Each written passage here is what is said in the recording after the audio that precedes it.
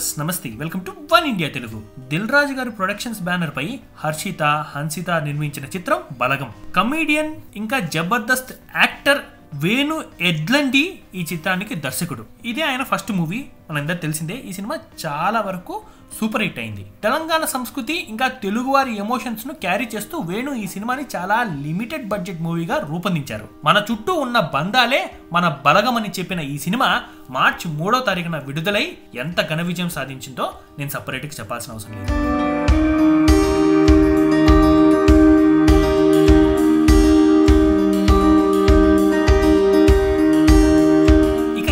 విషయంపై తాజాగా మెగాస్టార్ చిరంజీవి గారు బలగం టీంని అభినందించారు. చిరంజీవి గారు బోలాశంకర్ షూటింగ్ సమయంలో బిజీగా ఉండటంతో బలగం టీమే అక్కడికి చేరుకుంది. ఆయన అక్కడ టీంతో ముచ్చటించారు. దర్శకుడు వేణు ఎడ్లండితో పాటు హీరో ప్రియదర్శి ఇంకా హీరోయిన్ కావ్య కళ్యాణ్ రామ్ అలాగే నిర్మాత దిల్ రాజు తదితరులతో చిరంజీవి ప్రత్యేకంగా ముచ్చటించారు. మొదటగా డైరెక్టర్ వేణు చిరంజీవి గారు చూడగానే పాదాభివందనం చేసి ఆశీస్సులు కూడా తీసుకున్నారు.